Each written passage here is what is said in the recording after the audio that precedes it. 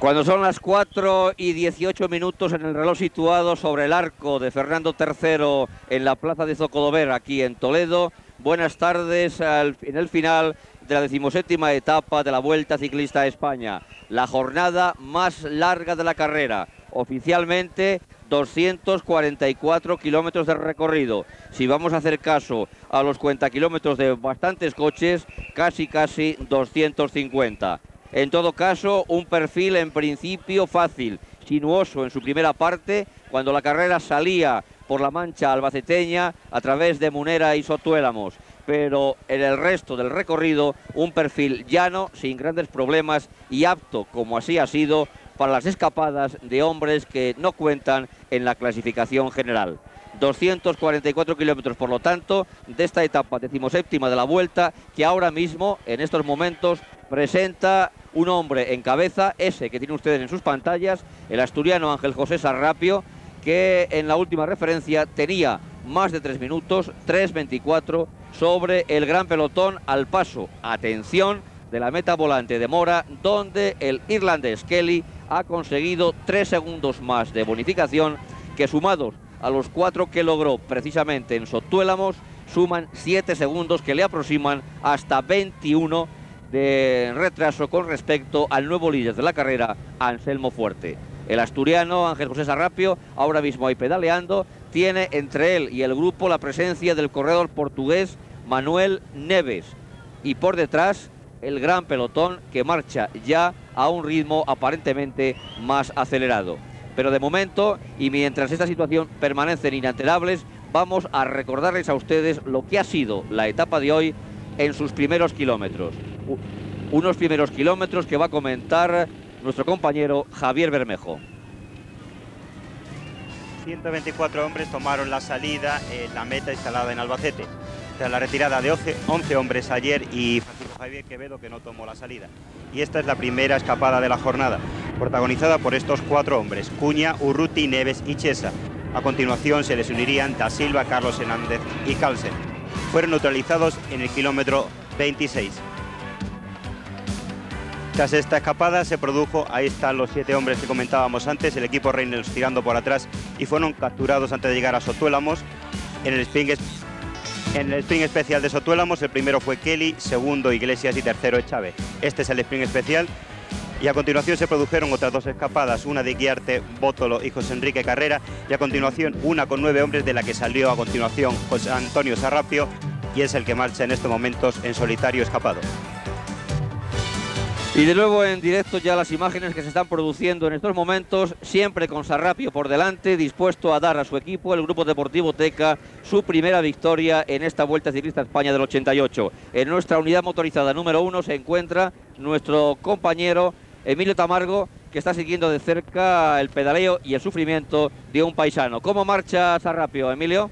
Bueno, yo la verdad es que le veo cansado. Buenas tardes ante todo. Le veo muy cansado, muy fatigado, pero por lo menos con fe, con rabia, con coraje. Ahí está el asturiano José Ángel José Sarrapio, que ha protagonizado una larga escapada, larguísima escapada, en un día que no es precisamente de los que a él le gustan. Ha llovido, eso sí, en gran parte de la etapa, pero por el momento, ahora mismo, quizá el calor que en esta zona ya cercana a la meta hace, sobre todo para el ciclista, me parece que le va a entregar poco a poco en manos de un pelotón que quiere disputar, como siempre, estas etapas al sprint. Vamos a ver si es verdad y antes de de eh, matar la piel del oso hay que haberle cazado y ahí está Sarrapio entregándose con mucha voluntad, pero vamos a saber si en efecto por detrás el pelotón tiene eh, ritmo de caza. Adelante Alberto Bacigalupe, ¿hay ese ritmo?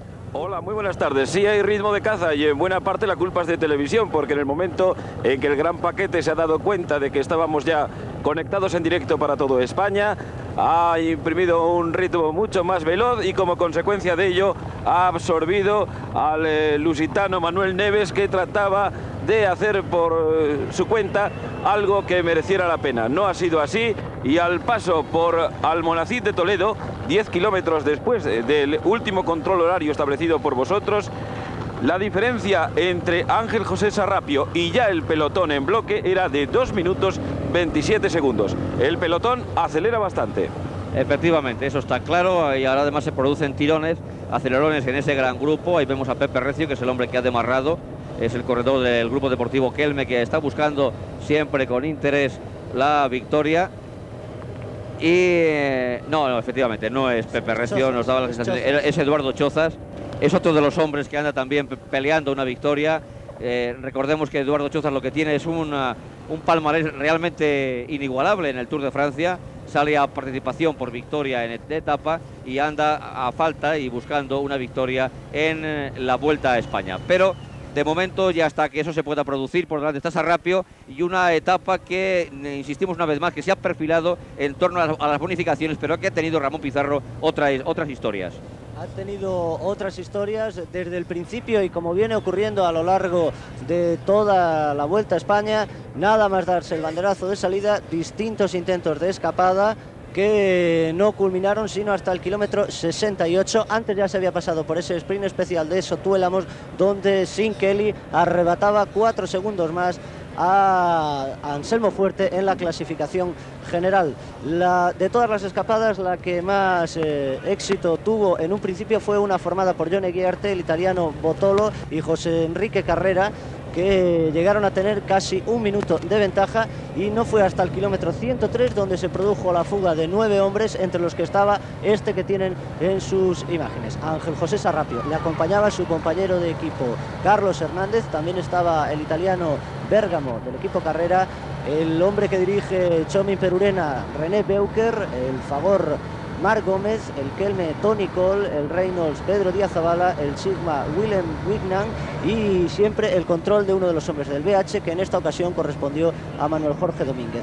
A partir de ahí se fueron alargando las distancias, llegaron a tener algo más de cinco minutos de ventaja sobre el pelotón, por lo que Gómez eh, ganó la meta volante de Alcázar, kilómetro 140, Sarrapio, el sprint especial de Madridejos, 169, y también Sarrapio ya en solitario, la meta volante de Mora en el kilómetro 206 a 38 de la llegada. Todos creíamos que esa escapada iba a producir el que Sin Kelly no consiguiera más bonificaciones, pero en esta última meta volante de Mora, Sin Kelly consiguió 3 segundos más, por lo tanto 7 en la etapa de hoy, ya lleva un minuto 15 15 segundos acumulado en bonificaciones y se ha puesto a 21 segundos tan solo de Anselmo Fuerte.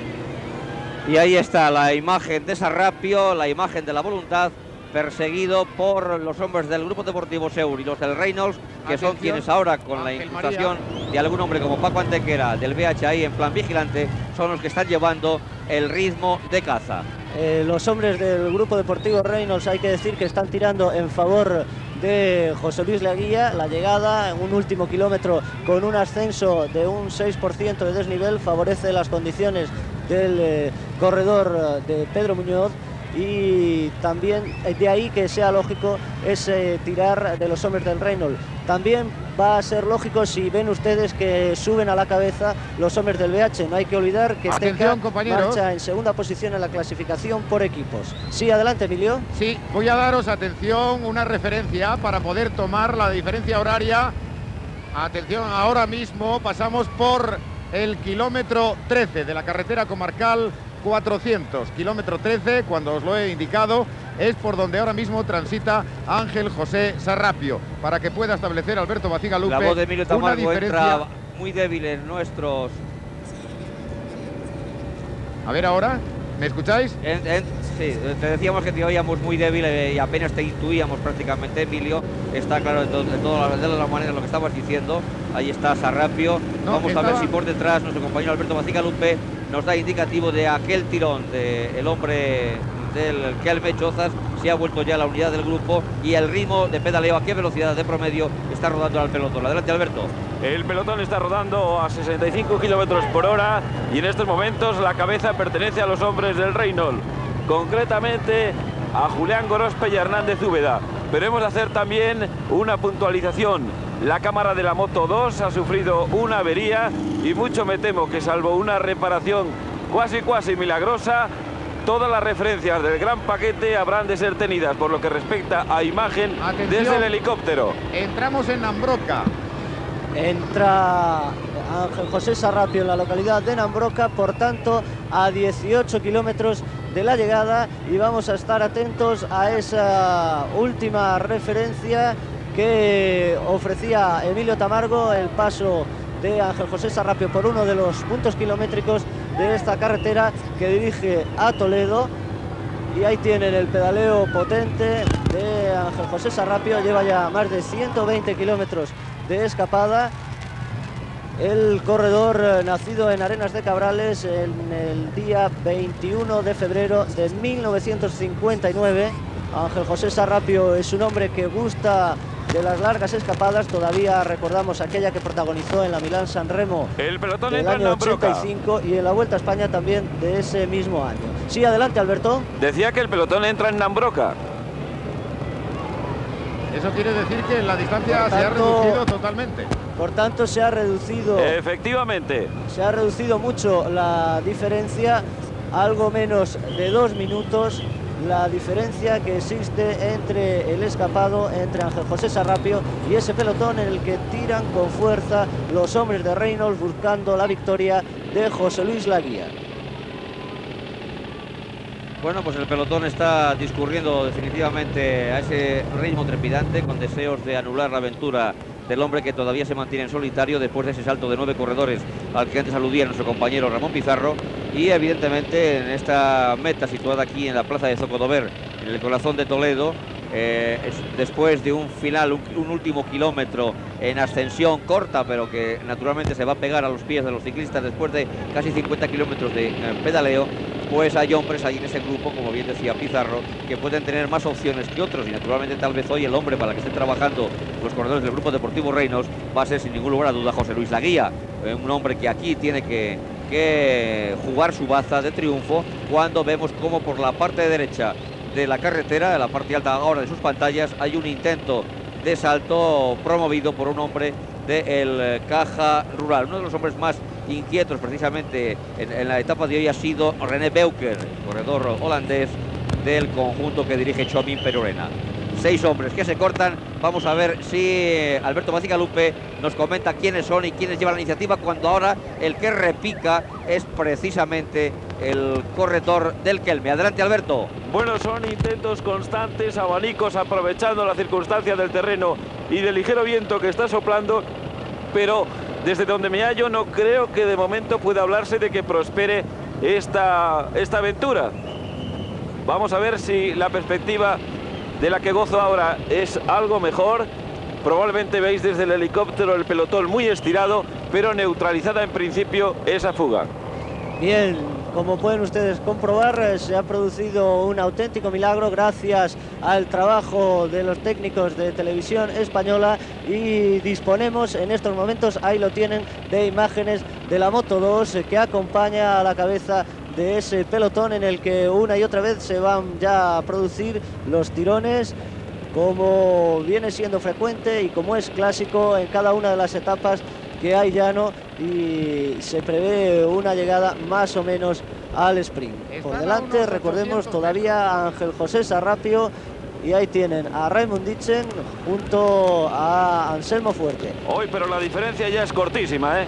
800 metros escasos. Si suponemos que ya están viendo, el pelotón está viendo ya a Ángel José Sarrapio, muy pocos metros de ventaja para este hombre que cumple su quinta temporada como profesional y que tiene como mayor victoria aquella conseguida en la etapa del Tour de Francia en el Futuroscope en 1986. La temporada pasada ganó el Memorial Rodríguez Inguanzo y, una etapa del Memorial Agostiño, prueba disputada en Portugal.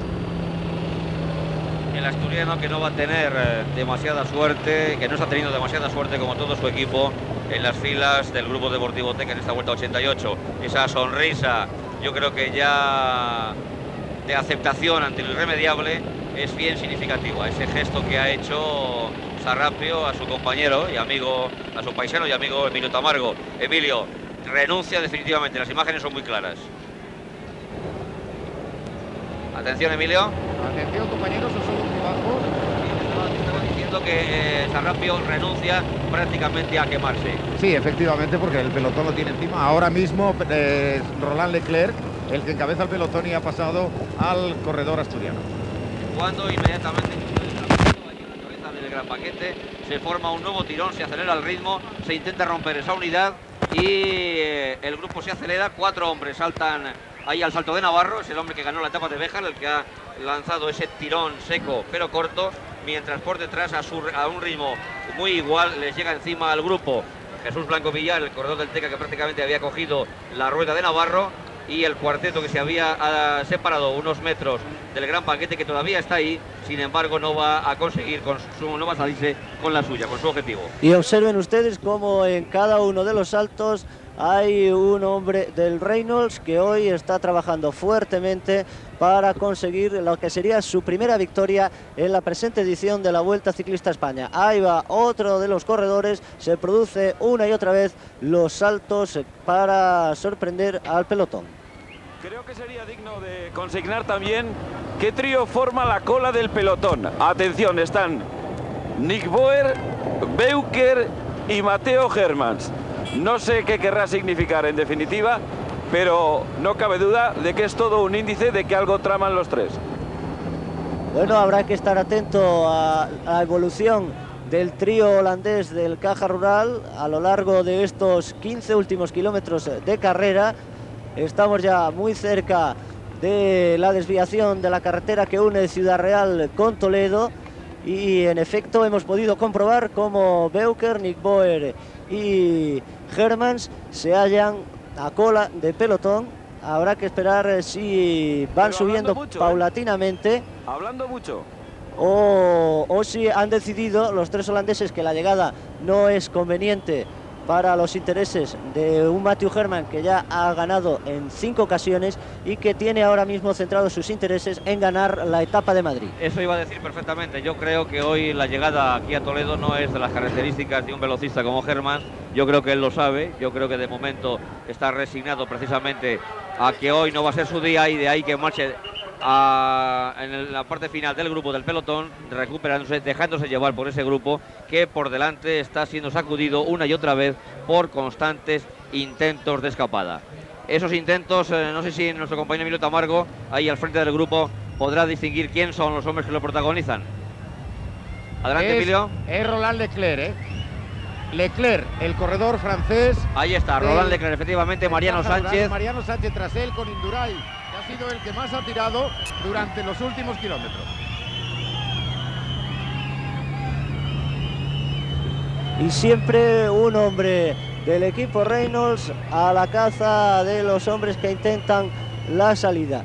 La estrategia del equipo navarro que dirige José Miguel eh, Echavarri está bien clara en esta etapa de hoy, la más larga de la Vuelta Ciclista España con 244 kilómetros. 244 kilómetros según el libro de ruta, insistimos que pueden ser algunos más, pero en todo caso una etapa que el grupo se ha tomado con, cierta tranquilidad. Atención, atención Ángel María, porque hemos visto levantar a hombres del BH la mano, también ahí está Anselmo Fuerte, no sabemos qué puede significar eh, esa maniobra. Parece que está pidiendo como ayuda Roberto Córdoba, el hombre que está pidiendo que pase adelante. Yo creo que lo que está haciendo es que sopla el viento de costado. Atención, compañeros, sopla el viento de costado. Se puede formar abanico, atención a ese corte. Formidable Roberto Córdoba que ha visto el momento de peligro y que está pidiendo a sus compañeros que pasen hacia adelante. Atención Emilio, el viento sopla de costado tal y como decimos. Sí, no excesivamente fuerte, pero está soplando de costado. El problema es que es un descenso prolongado que se habían colocado en cabeza varios elementos del grupo deportivo CAS y que inmediatamente Roberto Córdoba, qué gran labor la que está realizando este corredor, se ha puesto en cabeza para tratar de frenar la velocidad que habían imprimido. Porque imagino, atención Alberto Pacigalupe, ¿qué pasa con el, con el líder? Bueno, yo al líder le veo bien colocado en el centro del pelotón, bien resguardado también por sus compañeros en este descenso frenético con carretera muy ancha, de buen piso y donde, como habéis dicho vosotros, ha habido un intento de corte, pero abortado por el resto del pelotón. Está por delante, ahora mismo con, a, vista de helicóptero, Anselmo Fuerte está junto a Sin Kelly. para la llegada. Este le mete un poquito la mano como para pedirle paso. 10 kilómetros para la llegada. A la parte delantera de la carrera. Vamos a pasar bajo la pancarta 10 kilómetros meta. Pancarta de 10 kilómetros y Anselmo bien situado, que él estaba buscando las primeras posiciones del grupo. Ha habido un momento que estaban codo a codo los dos hombres fuertes de la carrera, Anselmo que hace honor a su apellido, Anselmo Fuerte, y Sin Kelly que estaba pidiéndole paso para encontrar una mejor posición al frente de la cabeza. Pero hay que destacar la labor importante de los hombres de, de segunda fila en los equipos, la labor sensacional que está haciendo un corredor que realmente merecería ser destacado mucho más de lo que está resultando es Roberto Córdoba. Cómo rápidamente vio el peligro, cómo levantó la mano y cómo avisó a sus compañeros y en concreto a su líder para que ocuparan posiciones de vanguardia en ese pelotón. En ese pelotón que está entrando ya en Toledo, a cuyo circuito urbano, a cuyo aro urbano va a dar una vuelta antes de atacar la subida a Zocodo Verde. Ahí que ya prácticamente en los aledaños toledanos todavía falten 10 kilómetros para la llegada a meta. Miguel Indurain, el hombre que encabeza ahora el pelotón, cuando se está pasando al lado de la estación de ferrocarril de Toledo, tendrán que rodear toda la ciudad imperial hasta llegar aquí a Zocodover. Recordemos una cuesta de un kilómetro con un 6% de desnivel y el ritmo que está imprimiendo ahora mismo. Miguel Indurain, un hombre fuerte, un hombre potente, es bastante alto a pesar de ese resfriado que aqueja al corredor navarro. Ahí está el pelotón con Miguel Indurain trabajando para José Luis Laguía. El helicóptero que levanta su cámara de forma majestuosa para recibir también en un saludo los perfiles majestuosos de esta Imperial Toledo con el Alcázar en su parte más alta. Y el grupo, insistimos, el que tira Miguel Indurain trabajando para José Luis Laguía, que es un hombre al que se le favorece la llegada de Zocodover, pero atención porque también le favorece a Kelly. Y atención que Kelly está también ahí muy bien situado, con los hombres de su equipo envolviéndole, rodeándole, prácticamente llevándole en una silla cómoda para que el irlandés trate de pelearse codo a codo con la guía y con aquellos hombres que puedan tener opción en esta subida corta que lleva hasta la meta de Toledo. Hay, otras, hay otros movimientos ahí en cabeza de grupo, Emilio. Sí, está y era en lo que quería que os fijaseis Juan Tomás Martínez, que es un hombre que también en, en subidas cortas es un hombre muy capaz de anotarse una victoria de etapa. Bien, tal vez le falte a Juan Tomás un poquito de velocidad, pero no cabe duda que su potencia y sobre todo su, su punto honor. Ahí va Juan Tomás, atención, efectivamente es el hombre que ha saltado. Su punto honor, hablábamos del punto honor del volcán de Baracaldo. Le falta velocidad, pero le sobra corazón. Y no olvidemos además, eh, Ángel María, que Miguel Moreno, el corredor que dirige a Juan Tomás Martínez, vive, reside aquí en Toledo, conoce muy bien las facultades y las cualidades de su corredor Juan Tomás Martínez y ha debido darle instrucciones precisas para que intente conseguir la victoria aquí en Toledo. Y ahí está el grupo haciendo el codo en una carretera que se acuna sobre el Tajo, en una imagen bellísima que ofrece nuestro helicóptero. Ahí está el Tajo con sus puentes, las aguas del río que prácticamente riegan toda la ciudad y su vega con los cigarrales al fondo. Y el intento de Juan Tomás Martínez tratando de romper la unidad de ese grupo en la que trabajaba de una manera intensa el Grupo Deportivo Reinos. Ahí está el volcán de Baracaldo, todo corazón, todo voluntad y ahora todo fuerza. Y por detrás de ese grupo se seguimos viendo por ahí por detrás Alberto Bacigalupe a Germán. No, no, Germán se ha adelantado bastante, pero hay un detalle que quisiera consignar y es que qué gran trabajador es Erwin Boer. Ha tenido un pequeño percance Joaquín Mújica, ha debido de ir al coche de su auxiliar para cambiar la rueda. La han esperado Nisboer y Ridaura y en un tiempo récord prácticamente han reintegrado a Guipuzcoano al pelotón. Y ahí está Nick Boer volviendo a trabajar en una acción continuada y meritoria. Un pelotón del que ahora tratan de saltar algunos de sus hombres. ¿Se les puede divisar desde ahí, Emilio? Es un corredor, creo que es del Sigma Dormilón. No le veo a la distancia a la que me encuentro. Estoy cerca de Juan Tomás Martínez. Allá va es del Alba, tras él ha saltado Fancalster, Santiago Portillo también. Se producen nuevos cortes. Pepe Recio por detrás. Tras él Jesús Hernández Úbeda. No, es Palacio, es Palacio. Pero todavía Juan Tomás Martínez se mantiene. Allá va Pepe Recio por la derecha. Tratando de abrir hueco entre Santiago Portillo que le sigue. Allá va también el colombiano del Grupo Deportivo Reynolds Palacio. Pepe Recio que sigue. Pepe Recio que va a capturar de un momento a otro Juan Tomás Martínez. Coge la rueda del volcán de Baracaldo ya muy cansado. Le falta punta de velocidad al corredor del Grupo Deportivo Zahor. Va a ser también alcanzado por Santiago Portillo. Pepe Recio que se va, Pepe Recio que se va. Vamos a ver si esta vez es eh, bueno el ataque del corredor granadino catalán. Allá se va solo y ha abierto un hueco considerable con el resto del grupo, comandado ahora por, por Van Calster. Ahí está, efectivamente, hemos seguido toda tu narración a través de las imágenes que nos ofrecía nuestro helicóptero. Efectivamente, ahora cabeza de carrera Pepe Recio por detrás e intentando absorberle un grupo muy estirado en el que se encontraban en las primeras posiciones, como bien ha dicho Tamargo, eh, eh, Santiago Portillo y un grupo de hombres que están rodando camino de Zocodover en este rodeo, en este circuito en torno a la capital imperial que ha aparecido ahí al fondo sobre las aguas de un plácido río Tajo. Quien no rueda tan plácidamente es ese pelotón que está ya a un ritmo trepidante que no quiere verse sorprender por un recio que es precisamente especialista en eso, en sorprender al grupo en los últimos metros. Hay que recordar la etapa que ganó Pepe Recio con final en Leganés en la vuelta de 1986, el ritmo que lleva ahora Pepe Recio, el corredor cordobés de Fernán Núñez es fortísimo, pero mucho nos tememos que su intento va a ser abortado por ese pelotón cuando estamos a 5 kilómetros de la llegada. Qué agua fuerte acaba de ofrecernos nuestro cámara Puyol en el helicóptero.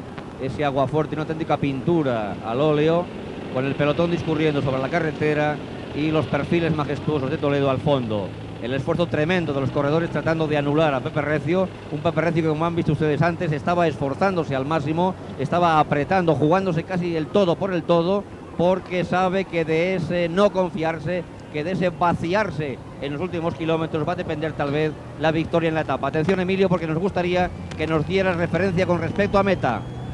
Está, ha pasado el kilómetro 5 a la meta, pero atención porque del grupo ha saltado el corredor italiano del carrera Mario Chiesa y trata de dar alcance a Pepe Recio.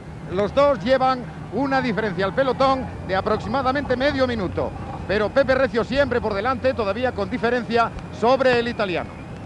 Muy corta la ventaja, muy corta la distancia que queda ya para llegar a la meta, como uno y otro día está ocurriendo, estamos presenciando una vez más un final de auténtico infarto con corredores que intentan con todas sus fuerzas, con todo su corazón, conseguir el éxito en la línea de meta y un gran grupo que habitualmente, hasta ahora así ha ocurrido en todas las ocasiones, ha acabado con las escapadas, excepto aquella, recuérdanla ustedes, que protagonizaron Sin Yates y eh, Deno Davy en la etapa con final en Jaca. Entonces había más eh, distancia desde que ellos saltaron hasta la meta. El pelotón se confió un poco, pero ahora no creemos que se produzca esa confianza, aunque eh, Pepe Recio desde luego es un hombre muy fuerte. Ha abierto camino, ha abierto mucho camino. La diferencia es notable. El corredor italiano al que se refería Tamargo ha sido absorbido de nuevo por el gran grupo. Está Recio solo en cabeza Recio, cabeza de carrera y ese gran grupo. Atención, Ángel. Sí, adelante, Emilio. No ha sido, no ha sido capturado por el pelotón. Se acerca a Pepe Recio. Está en lo que es eh, concretamente la, longitud del, eh, del puente. Pero atención, que vamos a hacer un cronometraje a partir de este momento. Entre Pepe Recio y Mario Chiesa hay exactamente 10 segundos. 10 segundos entre Pepe Recio y Chiesa, al que evidentemente no vemos. Ahora nuestras cámaras le están buscando. Ahí está el italiano, efectivamente. Por delante Recio, que es el hombre que tienen ustedes ahí. Ese es Pepe Recio. Vamos a ver si vemos ahora la figura del italiano. Ahí está Chiesa, Mario Chiesa. Y por detrás el gran grupo. Parece difícil que a estos hombres les puedan alcanzar. Dos kilómetros para la llegada, el pelotón eh, que parece no reaccionar, aunque por detrás se estira en esa punta de lanza buscando acortar las diferencias. Aquí ya empieza la cuesta y también la ventaja para un hombre como Pepe Recio. Ahí está Pepe Recio rodando con fuerza, rodando con eh, entrega, con corazón, con voluntad, tratando de repetir otras victorias que ya han hecho historia en la Vuelta Ciclista a España, victorias conseguidas siempre dentro de los últimos 10 kilómetros, donde el golpe de pedal que un hombre como él puede sorprender a ese gran pelotón que ya gira en el aro que conduce hasta la ciudad y hacia la puerta de bisagra, por donde los corredores entrarán en la Imperial Toledo. A 15 segundos sobre el italiano. 15 segundos, por lo tanto, va abriendo hueco recio con respecto al italiano. Parece que no se fía mucho, quiere conocer sus propias referencias, mira para atrás, eh, sabiendo si el italiano le va a coger la rueda. Y ahí está Recio entrando en la recta que le va a llevar hasta Bisagra y por lo tanto desde Bisagra a un kilómetro de meta. Yo diría casi que el público le está llevando en volandas, porque hay que ver la ovación, las ovaciones que está recibiendo eh, Pepe Recio a lo largo de este camino jalonado por miles de espectadores. Sin embargo, el, eh, el ritmo de, de, de, pedaleo y la cadencia de Recio ha descendido, es lógico, está en los subiendo, momentos va a más pasar duros bajo la de estos pancarta del último finales. kilómetro. Atención que Recio va a pasar bajo la pancarta de un kilómetro para meta. Vamos a intentar tomar ahí en ese punto una última referencia. Las distancias son muy cortas y Pepe Recio que mira hacia atrás, desde ahí ya todo es en subida y como decimos, Pepe Recio puede, puede conseguir la victoria, aunque desde luego lo va a tener bastante difícil. Volcado como un juvenil sobre el manillar, tratando de sacar fuerzas de flaqueza y con la estela del grupo que ya marcha a un ritmo trepidante de caza, tratando de recuperar la sorpresa que le ha producido el salto del corredor cordobés. Ahí está, al fondo, vean la puerta de bisagra. Atención, caída en la cola del pelotón. Sí, adelante. Caída, caída en la cola del pelotón. Una nueva caída. Ha caído y también Javier Castellar. Están caídos aquí. Ante nosotros todavía no se han incorporado. Vamos a ver si Matthew Hermans consigue hacerlo. Le atiende el doctor Astorki. Javier Castellar también Aten- parece muy atención, dolido. Alberto, vamos a centrarnos en las imágenes porque Pepe Recio se está acercando a meta, porque Recio va a tener fácil, eh, después de la tremenda dificultad que ha tenido que atravesar la victoria en esta etapa, Recio que se aproxima a línea de meta. Ahora viene la parte más difícil de la ascensión. Además ahí hay adoquines y esta, como decimos, es la parte más difícil. La ventaja se acorta segundo a segundo y creo que sí, en efecto va a ser alcanzado Pepe Recio. Germán se reincorpora. Efectivamente, el grupo por detrás. Ahora mismo se produce la, la caza. Hay un hombre que demarra. Kelly a su rueda, atención. Kelly a su rueda. Atención que estábamos hablando de Kelly. Milar por delante. Milar, Kelly. Milar por delante. Kelly también. Ahí está Robert Milar. Kelly a su rueda. Vemos otros hombres del Fagor, también del CAS. El tema va a ser entre Milar y Kelly. Atención, Milar, Kelly. Milar, Kelly. No, ninguno de los dos. El hombre que gana es precisamente Malcolm Malcolm Elliott. Elliott. Malcolm Elliott, un velocista en la cuesta de Zocodover. Un hombre que a priori no contaba y que ha superado a todos los demás gracias al trabajo sensacional que le ha hecho Robert Miller y gracias, pienso yo, al quite que le ha hecho Kelly. Yo creo que Kelly no ha querido rebasar y es una opinión naturalmente muy personal. ¿Quiere decir algo esto? Tal vez Kelly sea el único capaz para comentarlo. Ahí está la victoria de Malcolm Elliott, lanzado por eh, Robert Milar y el grupo que va entrando en línea de meta, prácticamente roto, deshecho, corredores de fila de a uno, pendientes de la caída que se ha producido. Y tal vez sería bueno que Alberto Bacigalupe, que estaba allí pendiente, nos comente si hay alguna noticia nueva. Adelante, Alberto. Bueno, tanto, tanto a Mateo Germans como a Javier Castellar, que ya están incorporados, aunque un tanto descolgados del segundo grupo del paquete, ha habido que cambiarles la rueda delantera de su máquina, pero parece que circulan sin aparente novedad. Habrá que ver una vez llegados a meta.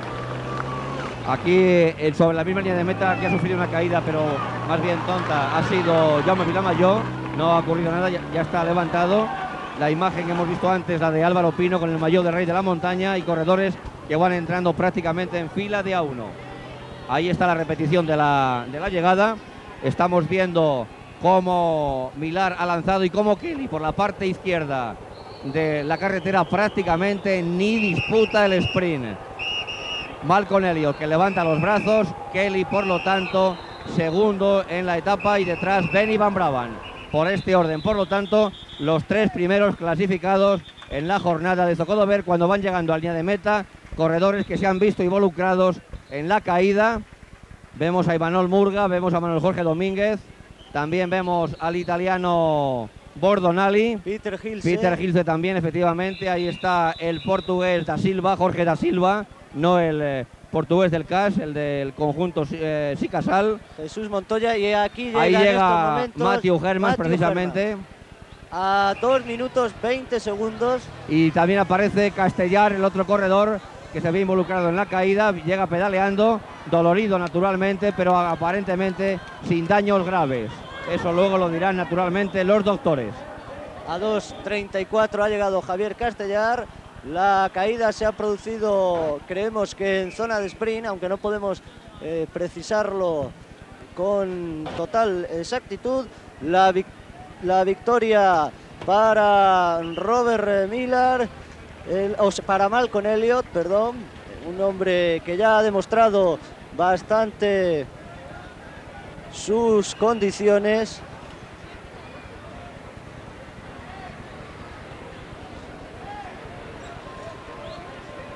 Un hombre que, como decimos, ha demostrado bastante sus condiciones como sprinter y que hoy ha sorprendido aquí en Toledo a los corredores que parecían estar en mejores condiciones para hacerse con la victoria.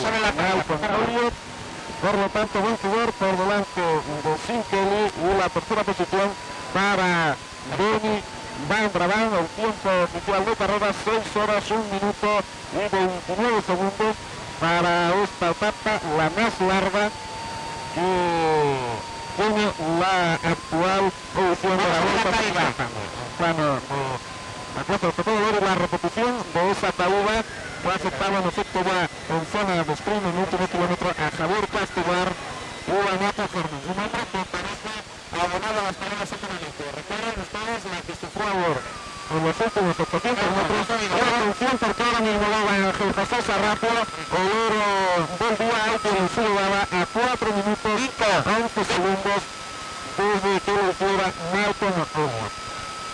El ha pagado su esfuerzo solitario de más de 120 kilómetros. Walton José Sarrapo está atendiendo a los medios de comunicación de un hombre solícito, amable y que como decimos ha perdido hoy 4 minutos 11 segundos. Al 5 de la rodar consultaría. La clasificación para una única una única variación sin que se pone a 21 segundos de Fuerte. Bueno, tiene prevista eh, el minuto para Vamos a paso a también, bueno.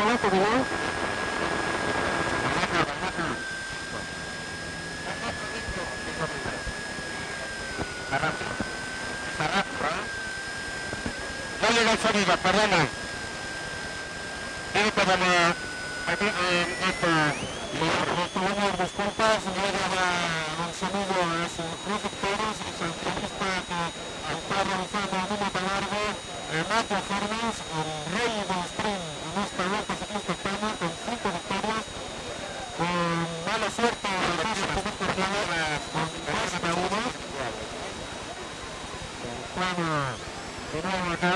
de la Plaza de muchísima la ocupa en Toledo una volada estrecha, difícil, angosta y que ha producido esa caída fue Vilamayor cuando ya había atravesado la línea de meta.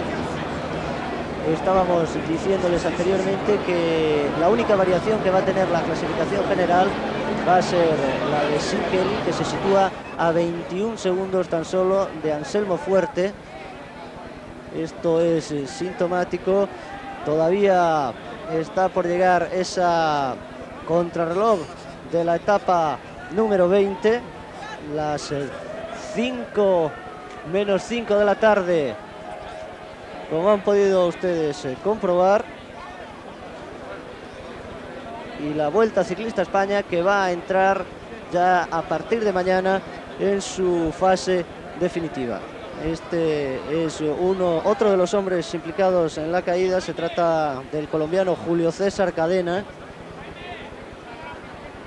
Como decimos, la vuelta a partir de mañana entra en su fase decisiva.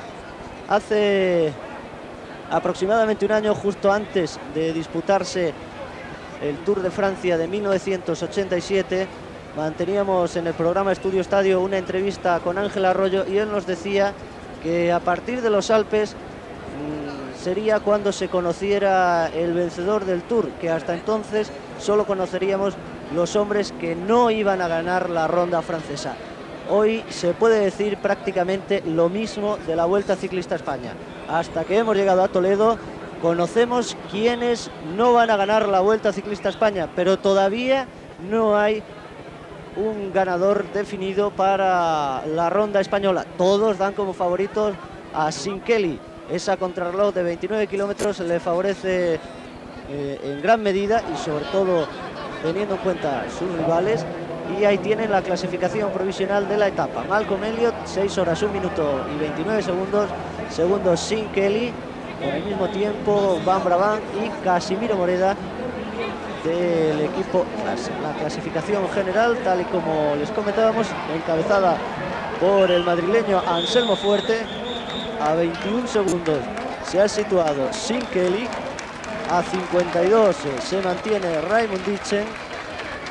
Y a 54 Laudelino Pulino. A 56 segundos está Fabio Parra. Por tanto, como les decíamos, Robert Millar es sexto a 1.47 y por tanto, como les decíamos, este hombre que está ahora en el interior del autobús de televisión española es el gran favorito para hacerse con la Vuelta Ciclista España 1988. Él tiene todas las papeletas para esa contrarreloj de la etapa número 20 entre Las Rozas y Villalba cuando vamos a dar paso a nuestro compañero Javier Bermejo. Adelante, Javier.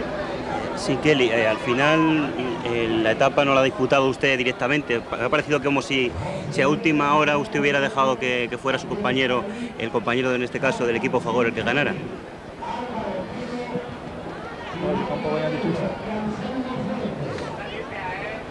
Je comprends pas du tout là, qu'est-ce qu'il me dit Non, il te dit que tu croyais que au dernier moment, tu étais plus fort et tu l'as laissé ou tu n'as pas allé à fond pour gagner Ouais, c'est-à-dire, comme hier, hier, il la dernière, euh, le 200 mètres, dans la c'était déjà assez vite. Alors aussi, j'ai crevé dans la finale. Que los últimos metros, Millar ha hecho la llegada para Elliot, entonces él estaba muy bien, pero en el último viraje ha sentido de que el tubular tenía un poco bajo y verdaderamente ha llegado un poco pinchado. Entonces, pues con el bandazo que le han dado, le un poco y no ha podido hacer el sprint definitivo. Gracias a Ramón Mendiburu que nos ha servido de intérprete en esta ocasión con Sin Kelly.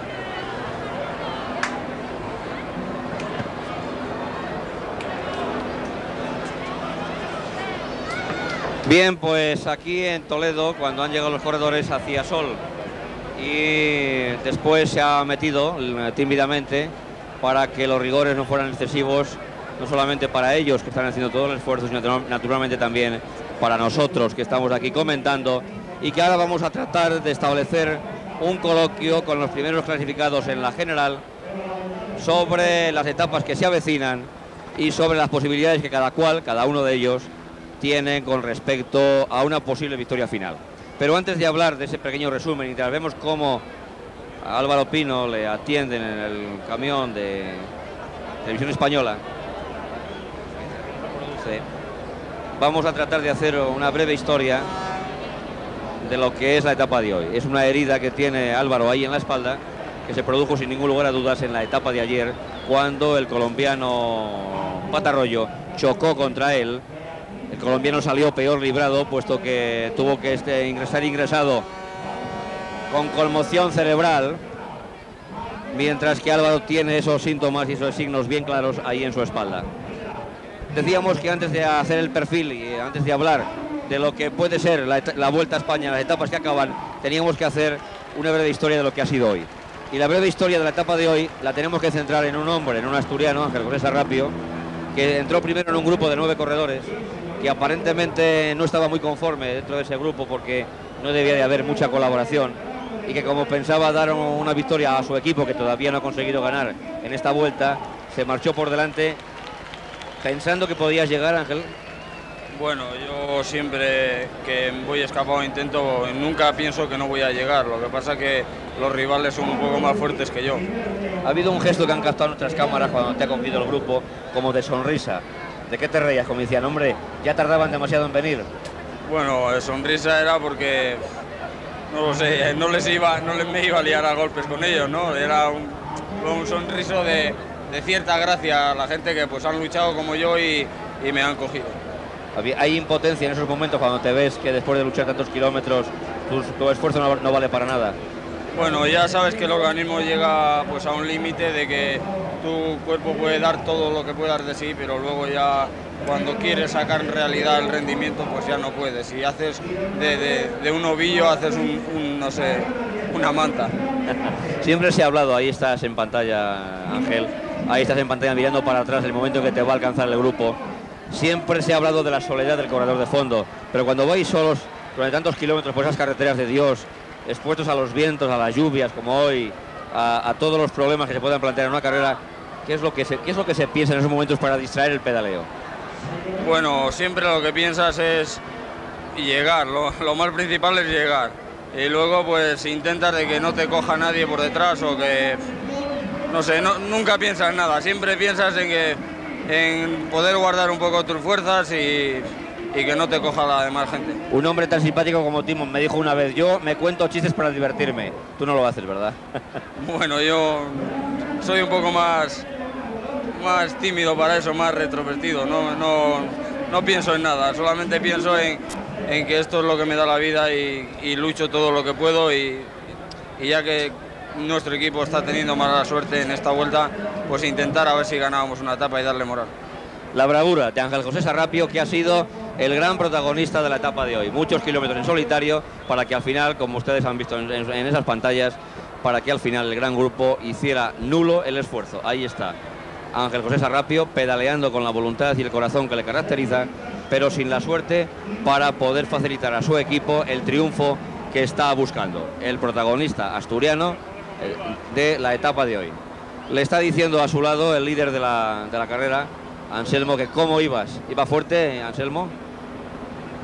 Bueno, yo creo que iba bastante fuerte porque atrás era equipo Reynolds y nosotros tirando y les ha costado bastante trabajo cogerle y yo creo que iba para, para ser el solo y bueno, Serrapio le va bien este terreno y lo ha demostrado que, que anda muy, muy, muy bien. El BH tiraba la caza de Sarrapio no por él, sino porque peligraba con una escapada tan, tan importante la clasificación general por equipos, ¿no? Bueno, sí, BH tiene que, que controlar, para, digamos, para mí, para el líder y, y, para la clasificación por equipos, que también es bastante importante para la casa. Es Anselmo Fuerte, el hombre que habla, pero también están con nosotros dos corredores más, Raymond Dichen y Laudelino Cubino, al que comentábamos antes que ayer, precisamente, que fue el día de, de, la, de la pérdida del Mayotte, no había venido a los dos estudios y él nos decía que creía que ya no le queríamos. ¿Cómo no vamos a querer a Cubino después del esfuerzo que ha hecho durante tantos días manteniendo el maillot? Pero lo que se trata ahora es de que entre todos hagamos una especie de disección de lo que va a ser, de lo que van a ser las últimas etapas de la vuelta. Etapas en las que se va a resolver la carrera y etapas que vamos a comentar entre los cuatro hombres primeros de la clasificación general, que están todos ellos dentro del pañuelo inferior al minuto. Va a llegar ahora Kelly, es el hombre que nos faltaba. Toma posición junto a nosotros Anselmo Fuerte. Ahora llega Kelly, que ya parece que se ha recuperado y que se ha puesto preparado. Se miran los dos, ha sido significativo la mirada del líder y Kelly. Un Kelly que hoy, siete segundos más de bonificación. Poco a poco te vas a acercar al mayor sin esperar a la contrarreloj.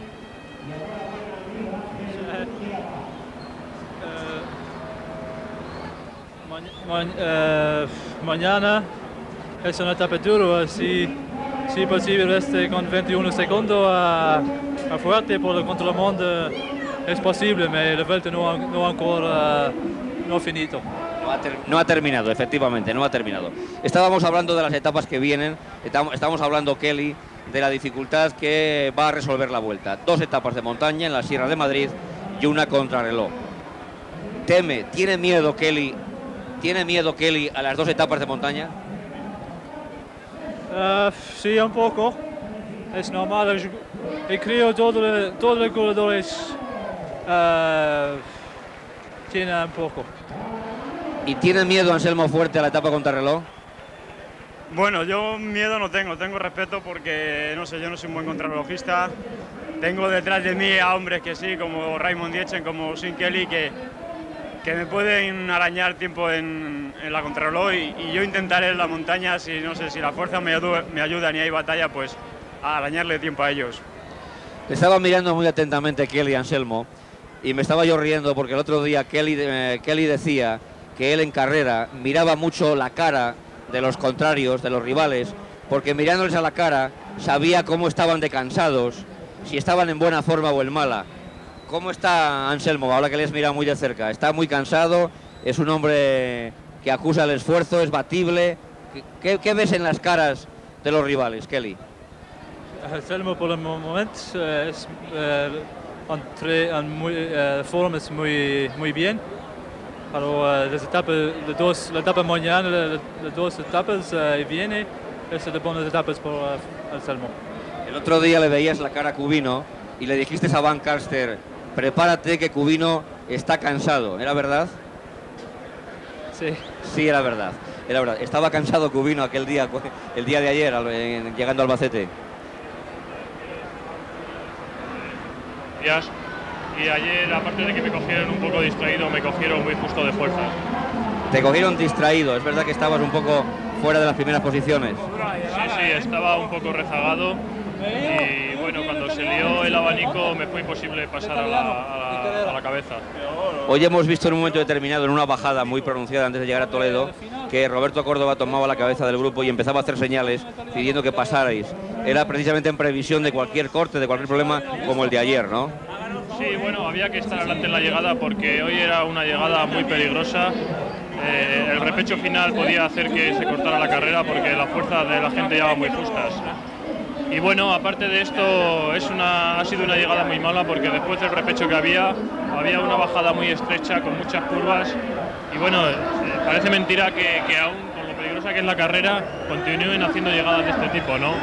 porque vamos, yo, yo no entiendo cómo, cómo, los organizadores piensan que un paquete tan grande puede pasar a veces por unas curvas y unas carreteras tan estrechas llegando a meta.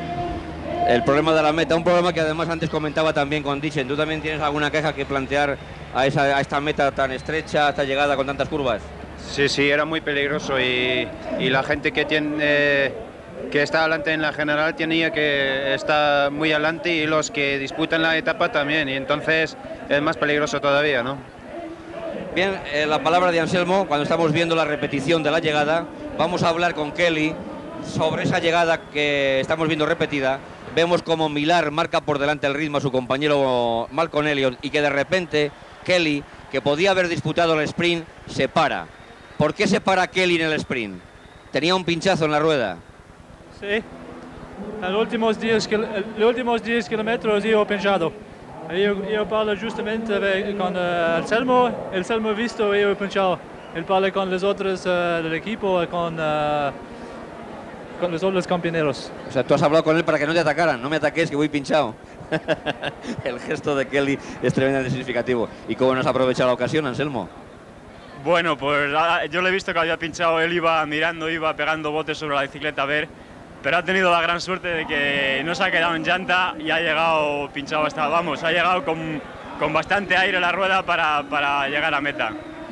Bien, eh, eh, Cubino, tú has dicho, hemos visto que tú has dicho en algún periódico, o al menos lo hemos leído, que la vuelta todavía no había terminado. ¿Qué quiere, qué quiere decir eso?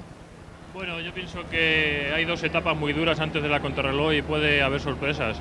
La gente ya ha dicho que está muy madura y estas etapas pueden hacer mucho daño yo creo que hay que disputarlas, hay que correrlas y, y, ya se verá lo que, lo que pueda pasar en estas dos etapas.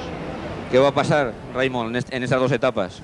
Bueno, yo, yo creo que las etapas son duras, sí, de verdad, y, y, y en final de la vuelta más duro todavía, pero no son, no son tan duros como, por ejemplo, como en la llegada de Saler. Dicen, perdona, dicen, dicen, Raymond, que la Sierra de Madrid sirve para seleccionar, pero no para decidir, ¿es verdad?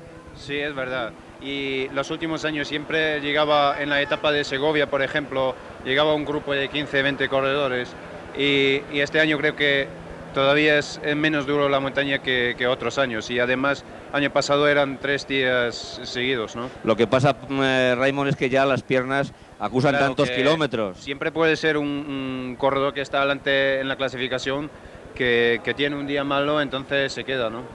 Tenemos también con nosotros a un corredor que es ex campeón de Bélgica. Raymond, ¿quieres dejarle por favor el micrófono? Muchas gracias. Tenemos con nosotros a un, a un corredor que ha sido ex campeón de Bélgica, Paul Aguedora bonsoir. Que- Quelle est votre opinion sur le Tour de l'Espagne C'est très dur, comme on dit tous les coureurs Euh, oui, c'est très dur pour nous. euh, c'est une grande différence. Euh, il m'a dit dix ans passés, il roule pas vite en Espagne, mais c'est pas vrai. Il roule très vite pour nous. Et c'est aussi différent avec l'école. Les Belges, ils sont pas des coureurs pour les montagnes. Ah, ça va. Dice que efectivamente que es muy duro, que le habían dicho que en España se corría muy deprisa y que hasta que no ha llegado no se ha dado cuenta de que efectivamente que es verdad, que, el- la Vuelta a España es diferente del Tour y que es muy dura para los corredores belgas. Sé que votre, votre équipe, euh, l'équipe euh, Sigma Dormilon, si, euh, se passe le, le Tour sans, sans victoire. C'est peut-être dans les derniers à Madrid. Es posible que gane el Sigma Dormilon una etapa en Madrid, por ejemplo, que es la única que le falta. Peut-être de gagner a Madrid le Sigma Dormilon. Peut-être, euh, oui, pas, je ne comprends pas tout. euh. Peut-être de gagner à Madrid euh, un coureur de le- un coureur belge. Ouais, c'est tous les, les jours. nous, nous essayons de gagner une étape. C'est pas pour le classement. Nous sommes. Il n'y a pas un coureur qui est bien pour le classement. C'est toujours pour aller au- au- échapper, peut-être gagner une étape. Efectivamente dice que como no están preparados para la clasificación general, que ellos luchan por ganar una etapa, luchan por una victoria de etapa. Vamos a hacer ya, antes de despedir a nuestros invitados, una última ronda. La vuelta entra en su parte final, queremos un favorito. Paul, eh, votre favori pour gagner le Tour de la España. Ah, Pour moi, c'est Sean Kelly. Sean Kelly para eh, Paul Aguedorn. Para Raymond dicen quién va a ganar la Vuelta a España. Bueno, yo creo que ya es difícil ganar a Kelly. Yo, yo creo que Kelly es el máximo favorito y luego Anselmo, ¿no? Pa- Para lo de Cubino, ¿quién va a ganar la Vuelta a España? Para mí Anselmo fuerte. Lógicamente, para él Anselmo fuerte. ¿Y para Anselmo va a ganar Anselmo la Vuelta a España? Hombre, me gustaría, por supuesto, que la ganase yo, pero yo soy consciente de que lo tengo bastante difícil. Aparte de las bonificaciones, bueno, la contrarreloj lo tengo bastante difícil y yo creo que el vencedor puede ser el que tengo aquí a, a mi izquierda. A tu izquierda, que es Kelly. Por lo tanto, 3 a 1 a favor de Kelly. Kelly, tres, tres corredores han dicho que vas a ganar la Vuelta. ¿Vas a ganar la Vuelta a España? Euh, J'espère. J'espère les trois, ils ont raison. Euh, euh, J'aimerais bien gagner le Vuelta car pour moi, c'est c'est à peu près la dernière chance de gagner le Vuelta cette année. Peut-être l'année prochaine encore, c'est possible, mais moi, j'ai j'ai pas beaucoup de temps encore car les autres comme Cubino, comme Forte, ils ont, ils ont plus de temps que moi car ils sont plus jeunes. Es casi, casi un ruego. Dice que efectivamente él piensa que va a ganar la Vuelta a España, que no le queda mucho tiempo, que el año que viene todavía quizás posiblemente estuviera en línea, pero que a él se le acaba el tiempo y que sin embargo Cubino, Cubino y Anselmo tienen más tiempo para ganar la Vuelta a España. Es casi un ruego, esa sonrisa casi angelical diríamos que han captado nuestras cámaras a Sin Kelly, ahí está la sonrisa de Kelly, el pronóstico de los hombres que están aquí con nosotros y naturalmente la vuelta que entra en su cuarta final. Cuatro días para la vuelta que tiene ahora las siguientes clasificaciones que nos van a dar nuestros compañeros desde el puesto allá en línea de meta. Adelante compañeros. Vamos eh, con las clasificaciones desde aquí, desde línea de meta. Vamos a ver también eh, la repetición de esa llegada de Sin Kelly. Era Pepe Recio el hombre que mantenía unos metros de ventaja sobre el pelotón que se le echó encima y Sin Kelly que a punto estuvo de conseguir un nuevo triunfo en una etapa de la Vuelta Ciclista a España. Como anécdota, digamos que a Toledo no llegaba la Vuelta hasta ah, desde 1974.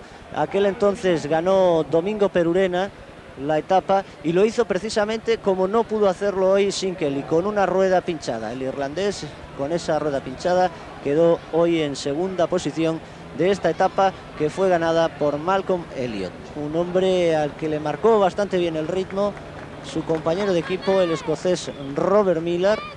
Ahí tienen precisamente a Robert Miller a los últimos eh, 100 metros para la llegada.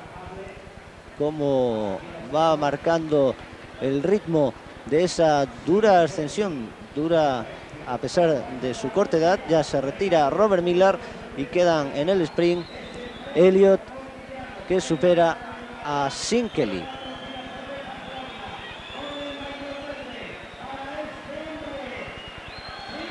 Ahí tiene la clasificación de la etapa. En el mismo tiempo, Kelly, Van Brabant y Casimiro Moreda, los cuatro primeros clasificados en el día de hoy.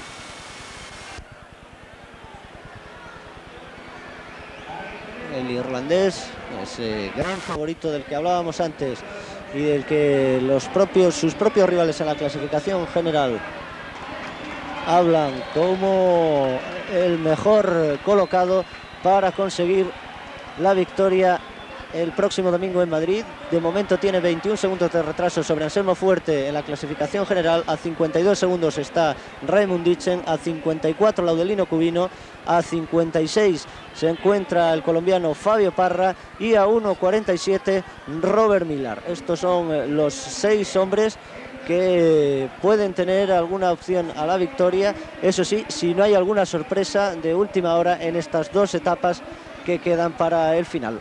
Álvaro Pino con 93 puntos es líder de la montaña, segundo Anselmo Fuerte, Sinkeli se ha colocado tercero con 50 puntos gracias a su segunda posición en el día de hoy, aquí en la meta de Toledo, era un alto considerado de cuarta categoría y Fabio Parra es cuarto con 48 puntos.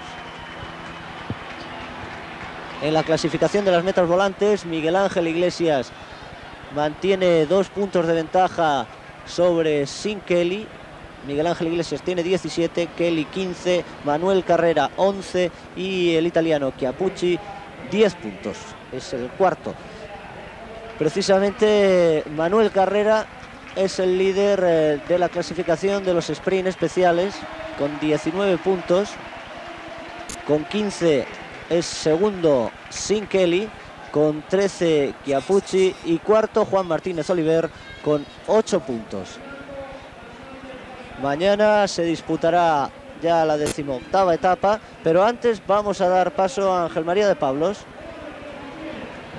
Bien, pues eh, tenemos aquí con nosotros al ganador de la etapa de hoy, Malcolm Elliott, el tercer inglés que consigue una victoria aquí en la vuelta. Recordemos que lo hizo Jade en la etapa de Jaca, que antes había ganado Kelly en la etapa de Valdés Caray y ahora Malcolm Elliott gana en, eh, en Toledo.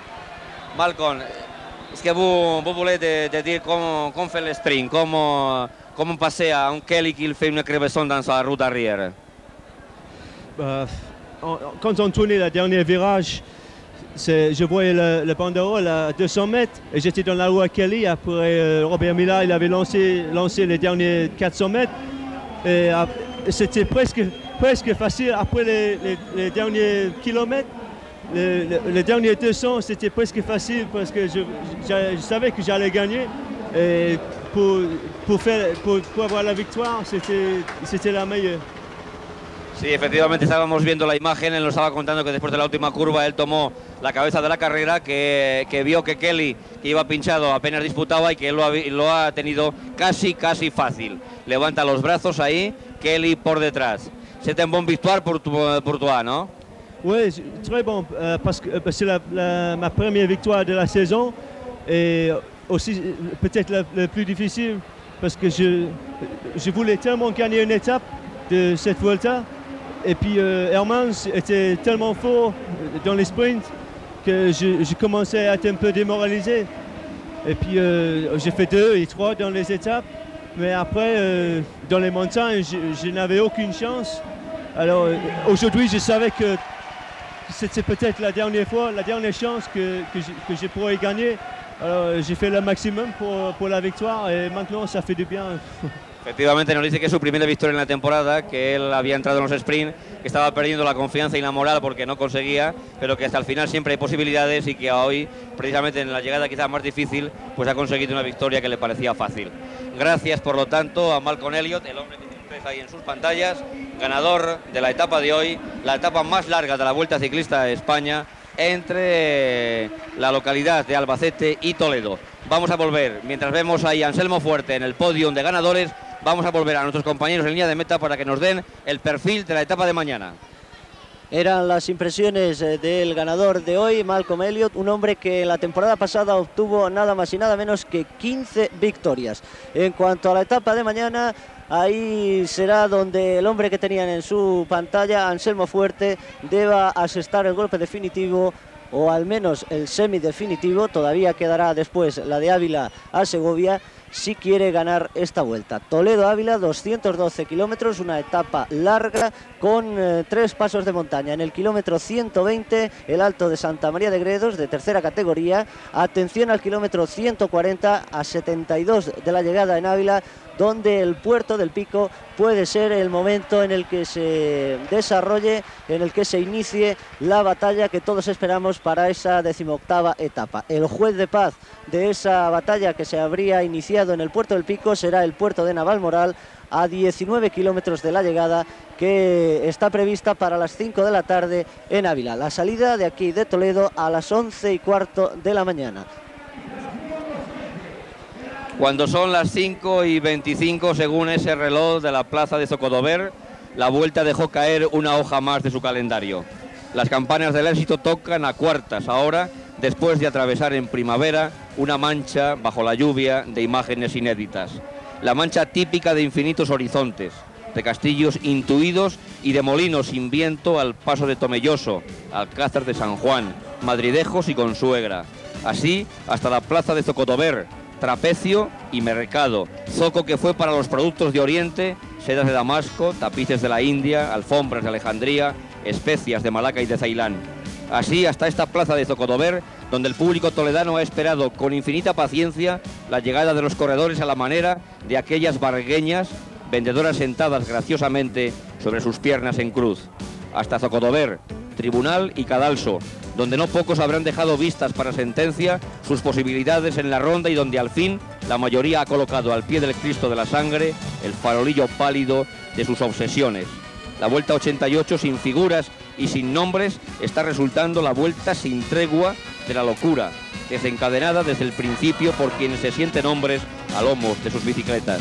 Faltan cuatro batallas y cinco corredores. Cinco aún están metidos en el pañuelo de un minuto. Las miradas se han depositado en un irlandés, pero ¿quién puede asegurar que los otros cuatro carecen de posibilidades?